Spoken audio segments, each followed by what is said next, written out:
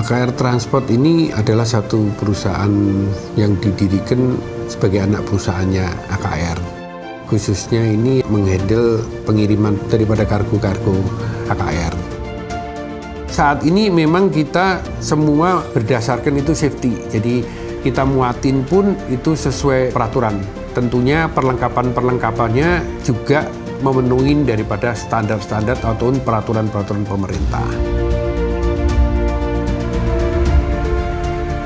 pengiriman produk B3, barang berbahaya dan beracun, terutama untuk AKR pada produk petroleum dan chemical, sangat concern terhadap masalah safety. Untuk hal itu, AKR memilih armada transportasi yang tepat. Salah satunya adalah UD Truck.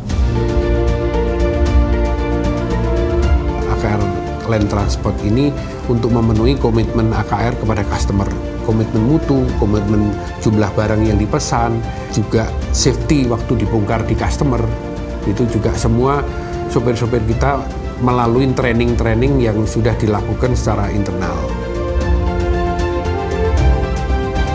Area distribusi AKR untuk nasional maka kami berada pada pulau-pulau di Indonesia. Kami terdapat di Pulau Sumatera, Pulau Jawa, Pulau Kalimantan, Pulau Sulawesi, dan Pulau Bali. Ide truk dengan fitur-fitur safety-nya mengisi celah yang terbuka untuk perkembangan transportasi manajemen saat ini. Seperti adanya speed limiter, adanya aplikasi telematics, adanya ABS, pola kenyamanan kabin, sehingga lebih mudah untuk kita membentuk pola berkendara dari si driver.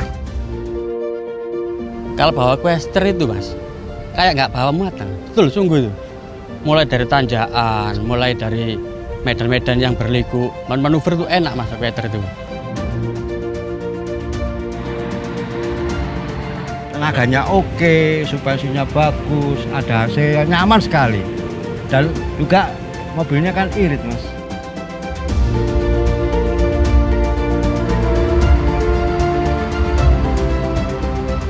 Slogan Ude Trucks dengan Going Extra Miles ternyata bukan hanya slogan saja, tapi memang dari pemakaian rasio bahan bakar itu melebihi dari rata-rata truk